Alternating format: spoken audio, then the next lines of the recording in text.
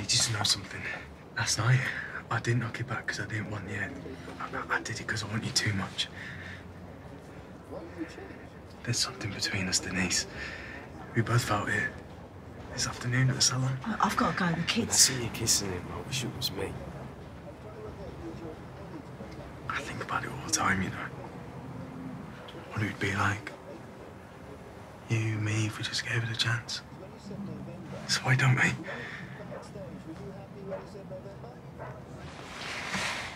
I'm gonna book a hotel.